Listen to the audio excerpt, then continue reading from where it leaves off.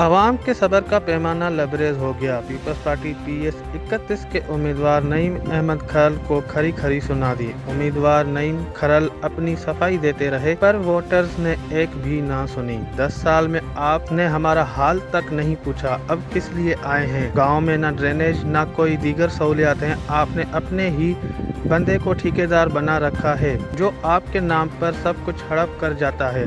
Voters का नईम अहमद खरल से शिकवा। वोटरों के सवाल सुनकर पीपल्स पार्टी के उम्मीदवार मायूस होकर वापस लौट गए। कैमरामैन टीम के साथ रफीक मंगी, न्यूज़ इन खैरपुर।